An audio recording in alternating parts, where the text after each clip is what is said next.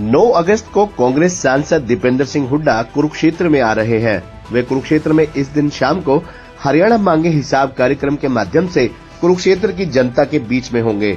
इस कार्यक्रम को लेकर थानेसर हलके के कांग्रेस कार्यकर्ताओं में खासा उत्साह नज़र आ रहा है। थानेसर में इस कार्यक्रम की व्यवस्था संभाल रहे पूर्व मंत्री अशोक अरोड़ा ने आज कार्यक्रम की तैयारियों का जाट धर्मशाला और अन्य क्षेत्रों में जाकर जायजा भी लिया। आपको बता दें कि हरियाणा मांगे हिसाब कार्यक्रम कांग्रेस का एक ऐसा कार्यक्रम है जिसमें कांग्रेस पार्टी हरियाणा सरकार के पिछले 10 सालों के कार्यकाल के दौरान हुए कार्यों का हिसाब मांग रही है। इसी कड़ी में सांसद दीपेंद्र सिंह हुड्डा 9 अगस्त को कुरुक्षेत्र आ रहे हैं।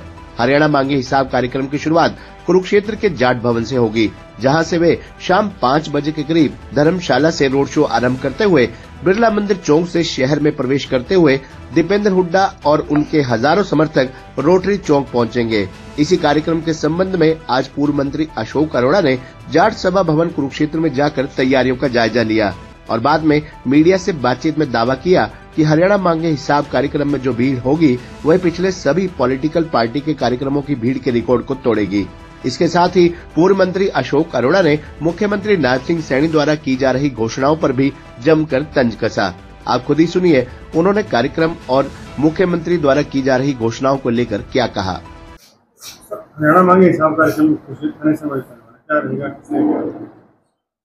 प्रजातंत्र के अंदर सरकार लोग बनाते हैं।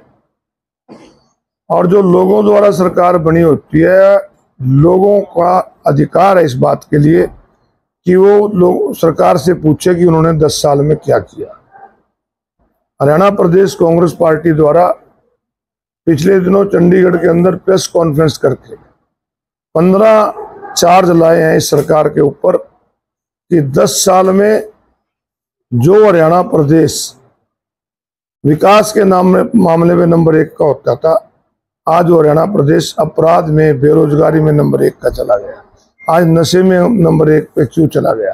आज हरियाणा प्रदेश महँगाई में सबसे ज़्यादा आगे क्यों बढ़ा? आज हरियाणा प्रदेश की ऐसी हालत है कि बच्चे रोज़गार ना मिलने की वजह से बाहर जा रहे हैं। हरियाणा प्रदेश की सरकार ने चाहे कोई भी किसी ने भी उसका आंदोलन किया, कोई इनसे बात करने के गया, बात करने की बजाय उनसे लाठियों से पीटा तो वो प्रोग्राम हरियाणा प्रदेश में चल रहा है। सरकार से जवाब मांगा जा रहा है। परंतु सरकार अब तक उसका जवाब नहीं दे रही और हरियाणा प्रदेश की जनता ने मन बना लिया कि सरकार ने जवाब नहीं दिया, परंतु अक्टूबर में जनता जवाब देगी, कांग्रेस पार्टी की सरकार बनाकर।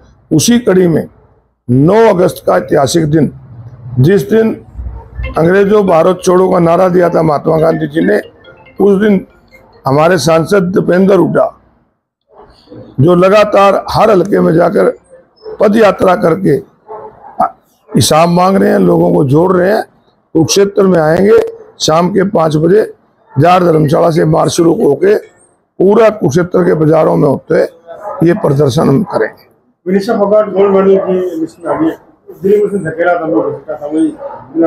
हमारी शुभकामना है कि वो देश के लिए गोल्ड मेडल जीत के आए परंतु जितनी बेच उस हमारी महिला प- पहलवानों को इस सरकार ने किया सड़कों पे रुलने की, के बाद उनकी जो प्रैक्टिस थी, उसमें भी उनको दिक्कत आई।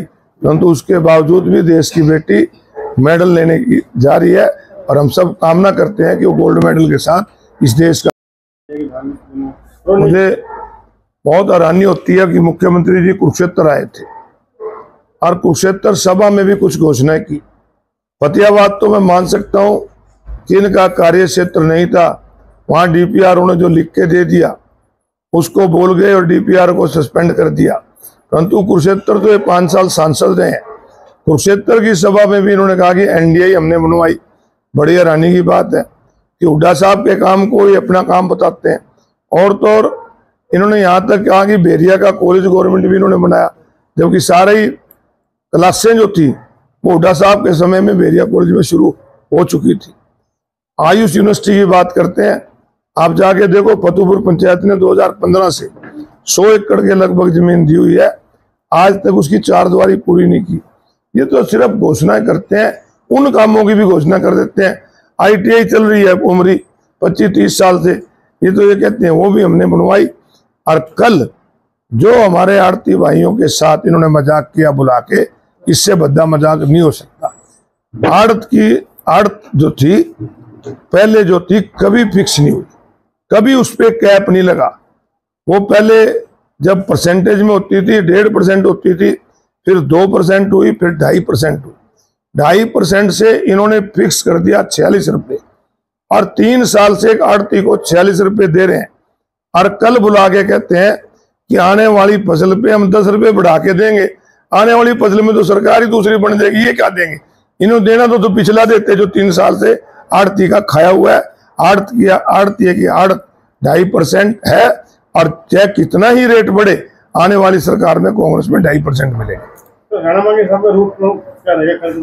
हरियाणा मांगे क्या हिसाब पाँच बजे कुरुक्षेत्र की जाट धर्मशाला चल के बिरला मंदिर चौक आपका लक्ष्मण चौक शास्त्री मार्केट होते हुए सीकरी चौक से होते हुए छोटा बाज़ार और नए बस पुराने बस स्टैंड तक जाए